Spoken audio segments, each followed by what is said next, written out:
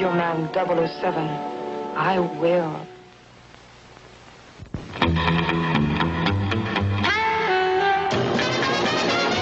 If your man lives for excitement, give him 007. There's a 007 gift set for every assignment. This one packs the full line, including 007 aftershave, hairdressing, and cologne. That's 007 for the license to kill women. When you use 007, be kind.